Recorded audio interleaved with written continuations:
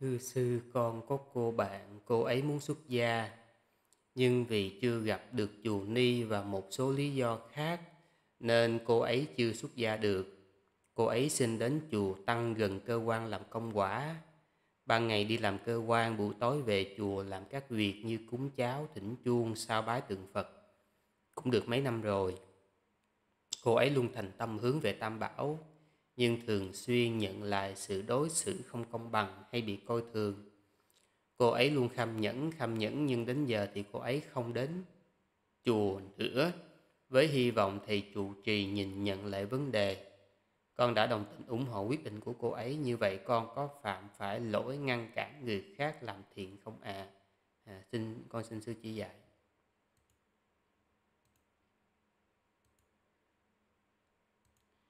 Um,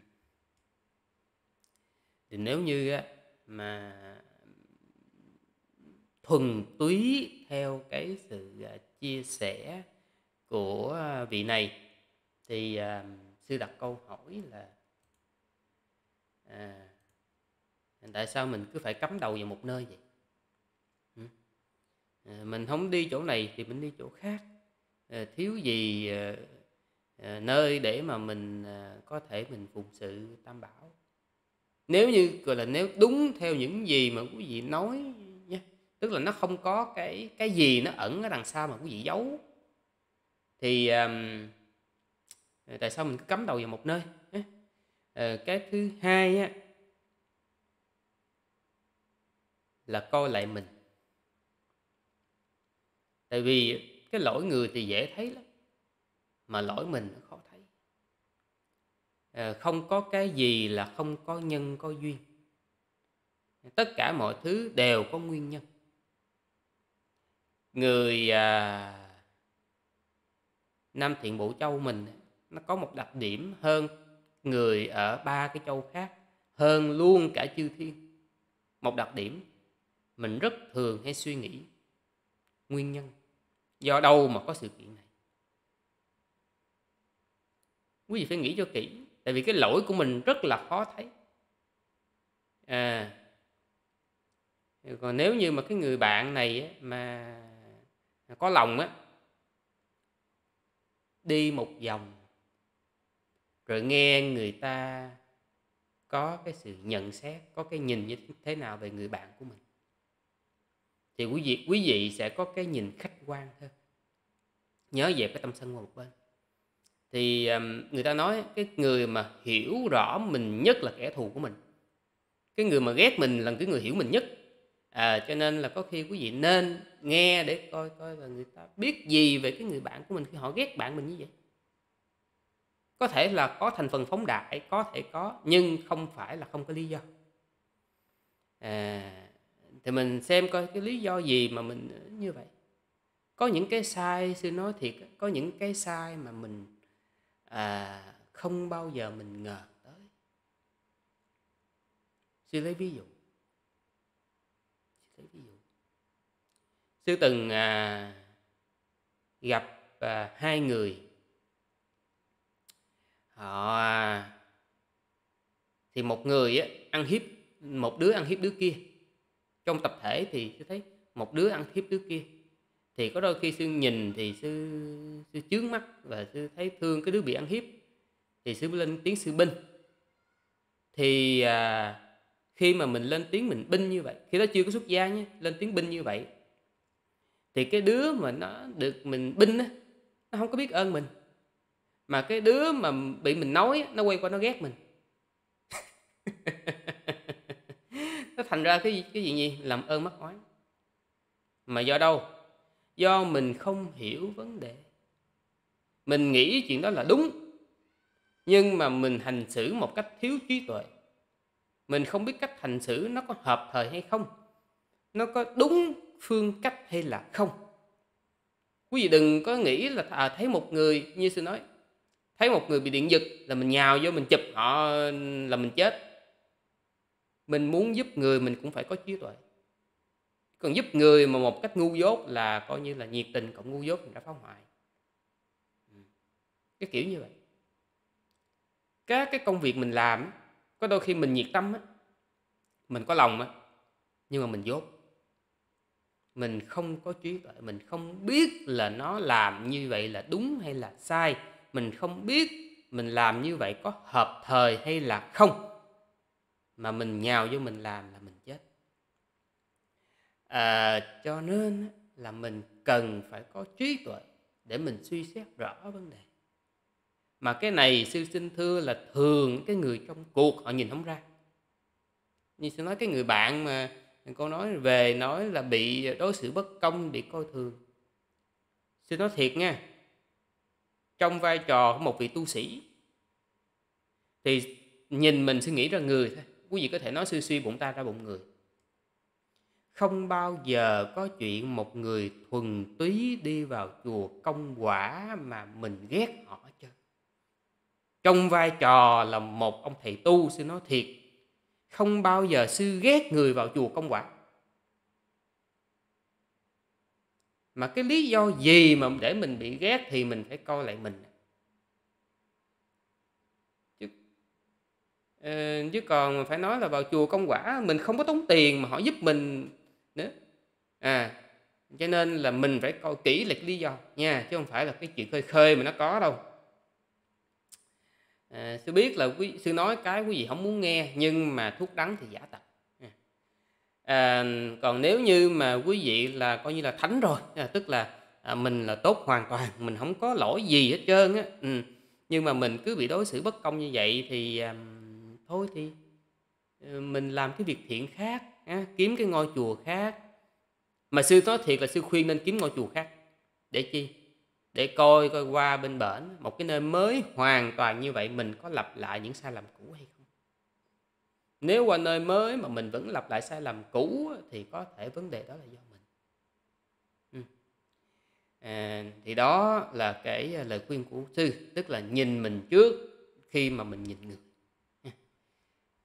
xin mời đức à, tuệ tương à, không biết là có cái nhìn có thể là cái nhìn ở khía cạnh khác không chừng dạ. À, kính thưa đại Đức, kính thưa quý vị, thì khi mà sư đọc cái câu hỏi này là sư thấy uh, riêng bản thân sư nha, sư thấy có uh, hai câu hỏi. Hai câu hỏi thì uh, câu hỏi là tại sao có hai câu hỏi là như vậy? À, thưa sư, con có cô bạn rất muốn xuất gia. Ở đây là nhấn mạnh chữ rất muốn xuất gia nha. Tại vì dùng chữ rất mà. Nhưng vì chưa gặp được chùa ni và một số lý do khác nên cô ấy chưa ra gia được. À, cái lý do khác thì sư không biết lý do khác là gì gì cái gì thì sư không biết. Đây là một câu hỏi nha đây là một câu hỏi. Sư ờ, gỡ vướng ở đây cái này là do khác thì sư không biết. À, nói là ờ, chưa gặp được chùa ni. Thì ở đây à, cái vấn đề chưa gặp được chùa ni nè nó nằm ở nằm ở đây nè. Nó là rất muốn xuất gia. Theo sư hiểu nghe theo sư hiểu nghe. Nói uh, chưa gặp được chùa ni á, thì cái điều này cũng hơi khó hiểu thưa vị. Sư, sư cũng không biết là cái vị đó nếu mà nói sư mình nếu mình nói là là là là là, là, là uh, không biết là ở vùng nào nghĩa là ở vùng nào vùng sâu vùng xa vùng nào đó. Nhưng mà tạm gọi ví dụ nếu mà nói là trong bán kính trong bán kính trong bán kính khoảng ờ, hai ba chục cây đến bốn năm chục cây thì trong vẫn chưa đeo sư, suy nghĩ nha vẫn vẫn trong cái khả năng đi quý vị nhưng mà nếu mà nói chưa gặp được chùa ni thì theo suy nghĩ là như vậy nè. Có thêm mặt ngoặt đơn đó là con có cô bạn rất muốn xuất gia, nhưng vì chưa gặp được chùa ni theo ý mình chỉ xác theo ý mình theo suy nghĩ là như vậy, theo ý mình. Tại vì nếu mà cái tâm cái tâm nha, đây sư nói là cái tâm mà rất muốn xuất gia, thưa quý vị, thì đã nói rất muốn xuất gia thì có những trường hợp mà thật sự là trốn cha, trốn mẹ. Rồi đang là phu thê với nhau. Đó. Mà mình bỏ ngang đi xuất gia luôn đó. Như vậy có những cái, cái gọi là cái gọi cái đây là cái trường hợp đây gọi là rất nha tại vì trong đây dùng từ rất mà cho nên sư chỉ dựa vào trường hợp đó thôi. Không? Chính vì trong đây dùng từ rất cho nên là sư mới đem cái trường hợp đó ra sư nói. Để để cho quý vị tránh đi cái hiện sự hiểu lầm. Đó. cho nên nếu mà nói là đã rất muốn xuất gia mà chưa gặp được chùa ni mà đây một lần nữa xin nhấn mạnh là chùa ni theo như theo như ý mình xin thưa ngôi chùa mà theo như ý mình thì vị đó là một ngôi chùa phiền não. Tại sao sư nói ngôi chùa phiền não? Tại vì theo như ý mình đó là cái phiền não về cái phiền não và dân dẫn dắt. À, theo ý mình sao có thể là chùa đó là ông chủ trì là là phải nghe ông chủ trì là phải ờ, uh, ví dụ ông chủ trì nó phải uh, tụng kinh hay giỏi thế này nọ phải nghe phải chiều mình phải cưng mình. Uh, không bắt mình dậy sớm không bắt mình công phu à, ông ông ông ông, ông phụ đó, là phải uh, cưng chiều mình mình muốn làm gì làm đúng không? Muốn tu tu muốn nghỉ nghỉ. Đó. Nên quý vị phải lưu ý. Còn chùa còn quý vị mà đã rất muốn xuất gia nên nhớ cái quý vị đã rất muốn xuất gia thì chỉ có cái chỉ có cái chùa mà uh, quý vị hiểu được cái tầm quan trọng xuất gia thôi chứ không có cái chùa nào mà theo như ý quý vị quý vị. Nên quý vị phải hiểu rõ vấn đề này.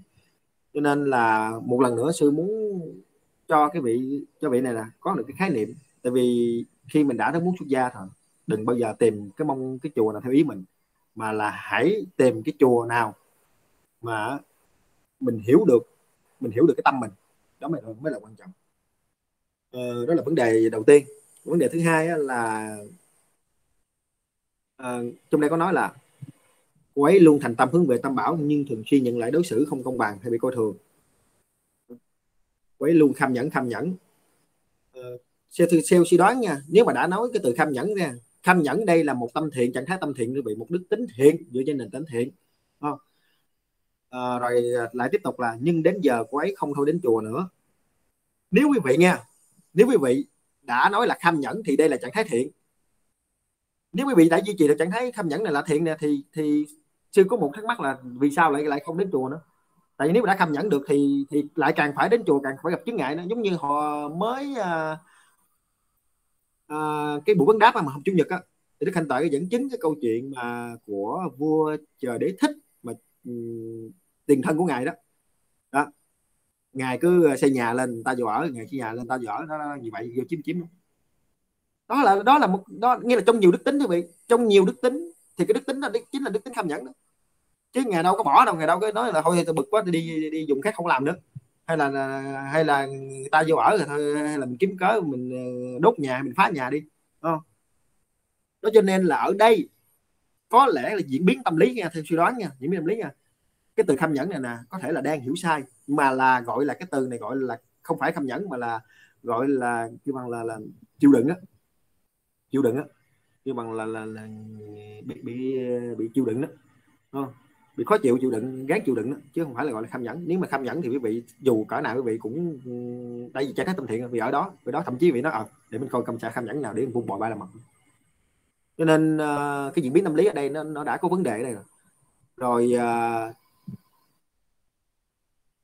uh, tiếp tục là đến giờ cô ấy thôi không đến chùa nữa hy vọng thầy trụ trì nhìn nhận lại vấn đề. Ồ, ở đây là lại là một cái gọi là cung bậc cảm xúc nó lại nó lại ờ, lên một cái cao trào quý vị. Nghĩa là cái việc cái cái cái cái cái cái cái của bạn này nè uh, tu có nghĩa là có, có tu có thể đi công quả đầu tiên sẽ tán thấy là tốt nha có đến chùa là tốt nha. Nhưng mà có lẽ là cái cái vấn đề nội tâm á vấn đề tu tập tâm á mình chưa có hiểu lắm. Có một câu mà sư rất sư nhắc rất là nhiều lần ở trong các buổi buổi live rồi là nghĩa là mình ờ, mình đừng mong bao giờ mong muốn thay đổi thế gian phi pháp mà hãy thay đổi cái cái phi pháp ngay trong nội tâm mình bây giờ thì, thì ví dụ đi thầy chủ trì đi có lỡ làm điều gì, gì sai thì mình cũng ghi nhận việc thầy chủ trì không ở trong chùa còn tăng chúng này nọ mà mình mình đi chùa đâu phải vì chủ trì thưa vị mình đi chùa vì tam bảo không? chứ hạ cớ về gì mình vì vì chủ trì rồi mình lại bắt vì chủ trì phải theo ý mình là phải nhìn nhận lại vấn đề có nghĩa là phải nhận sai với mình không? là cái đó là đang như khi mà mình có cái cái cái, cái nhìn nhận như vậy nè đó là cái dàn dòng tâm bất thiện không? nó đi sai cái lời Phật dạy rồi đó. đó là diễn biến tâm lý đã, đã, đã sai như vậy rồi rồi à, cái vị mới hỏi tiếp là con đã đồng tình ủng hộ quyết định của ấy như vậy có phạm lỗi ngăn cản người khác làm thiện không ạ à? thì à, nó tóm lại là cái anh này anh hỏi là à, ủng hộ ủng hộ theo quyết định đó thì có phạm lỗi ngăn cản không thưa vị cái đây là cũng thuộc về yếu tố nội tâm quý vị ủng hộ như thế nào đại loại như quý vị uh, chỉ biết chỉ biết qua người bạn mình người đó cãi ờ tôi tôi tôi ta ta lỗi như là tôi đi chùa thấy phiền não rồi tôi không đi này nó sự việc gì đó thì mình đó cũng ủng hộ nhưng mà mình mình hiểu là à cái bạn này đang phiền não có nghĩa là chỉ là biết hiểu cái cái vấn đề chung thôi à, vấn đề chung là ờ, đang phiền não việc đó thì mình mình đó mình ngay thời điểm đó, đó mình thấy là đang phiền não rồi bức xúc rồi nói rồi rồi gì, sân hận lên này nọ đó. có những cái thái độ rất là tiêu cực thì nếu mà mình nha ở đây phương diện nha nếu mà mình cái mình hiểu được chuyện thì mình mình nói đại loại như mình cũng ủng hộ mình nói ờ vậy thôi vậy thôi nói thôi nếu vậy nếu vậy thôi thì ờ, không đi đi à, không đi ở nhà nghỉ thời gian đi. Đúng không? Thì cái cái thì cái cái, cái trạng thái tâm của mình là mình ủng hộ nhưng mà với trạng thái tâm thiện là mong nghe là có cái yếu tố tâm từ với cái sự biên mẫn trong trọng để mong các bạn mình là với lời nói của mình là xoa dịu bớt cái thời điểm đó xoa dịu bớt cái sự bực tức à, cái sự sân hận đúng không? Rồi cái sự bức xúc ngay cho người bạn mình. Thì đây là một cái điều điều tốt mà một cái điều không có phạm lỗi ngăn cản. À, rồi đây trường hợp thứ hai. Nếu cũng trường hợp như vậy người bạn cũng kể như vậy mình nói ôi mình mới bức xúc cùng nha gọi là sẽ bức xúc cùng nha. Trạng thái tâm mình nó bức xúc cùng rồi mình bộc phát cùng. Nói ờ thôi, thôi, thôi cái chùa đó tôi, tôi biết quá mà chùa đó mấy thì chùa đó mà tu hành cái gì? Mốt đừng đi mà đừng đi chùa chuyện đừng có đi tới mấy con chùa mốt cho ông ông nhịn đói ông chết luôn. Đừng có thứ cố chấp, tu mị đâu, cố chấp này nọ, rồi sân hận này nọ mốt đừng đi. Đi mấy ông, nói chung là là chùa chiền toàn mấy ông thì chùa gì không mình đánh đồng gì thì đây là mình không những mình phạm cái lỗi ngăn cản mà mình có thái độ cực đoan và mình hiểu sai về cái vấn đề tam bảo. Cho nên, cuối cùng, làm gì làm, sư vẫn mong quý vị là trong cuộc sống là mình làm khi mà người bạn quý vị hay là bản thân quý vị có những cái vướng mắc, những cái những cái vấn, những cái cơ những cái vấn đề rắc rối trong cuộc sống thì vẫn mong quý vị luôn duy trì được trạng thái tâm thiện. Mà muốn duy trì được thái tâm thiện, hiểu được tâm thiện như nè thì phải sao? Thì xin thưa, giống như đức thành tại nói ờ, rất khuyên nhiều lần đó đi học giáo lý nền tảng, mình có nắm được giáo lý. Rồi, xong.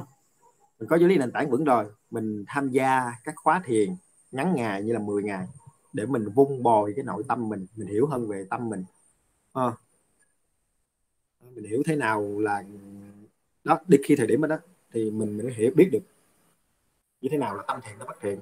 À, rồi mình xử lý những cái trạng thái tâm như sao à, thì cũng uh, xin kết thúc câu trả lời đây. Dạ. À, nói là rất là à, cảm ơn để đức đại tường đã chỉ ra thêm một cái vấn đề nữa để mà quý vị thấy nó rõ. Sư nói, nếu như mà quý vị nghe không rõ thì làm ơn nghe lại. Mà cái câu sư tập đắc nhất là mình đi tu mình muốn cái chùa như ý mình không hả thì cái đó là cái mình chết đầu tiên. Mình muốn trụ trì như ý của mình. Mình muốn người gọi là muốn nhà bếp phải như ý của mình muốn những người công quả phải như ý của mình. Thôi mình nhảy lên trên đầu người ta mình ngồi. Đó. thì khi đó là mình chết um, đây. À, nhưng mà đó ờ, cái người hỏi tức là cái người không phải là cái người à, à, chịu cái à, cái sự kiện này. Thì với sư thì à, tốt nhất là sư không có sư khuyên là không ủng hộ không phản đối. Tại vì họ cái vị này sư có cảm giác là họ không có muốn nghe. Mà cái người không sư không bao giờ khuyên cái người không muốn nghe. Cái người nào họ thành tâm họ muốn nghe thì sư mới khuyên. Còn người không muốn nghe sư không có khuyên. À, à, chính bởi vì như vậy hãy suy nghĩ cho kỹ. À, à, khi mà họ không thực sự họ muốn lắng nghe họ thay đổi thì mình có nói cũng bằng thừa bây giờ quý vị có ờ, lấy clip này quý vị đưa cho vị đó nghe thì sư không tin lắm là họ chịu nghe và họ chịu nhìn ra vấn đề của mình đâu. À, cho nên là thôi tốt nhất là hành tâm xã đi mọi chúng sanh có nghiệp của mình.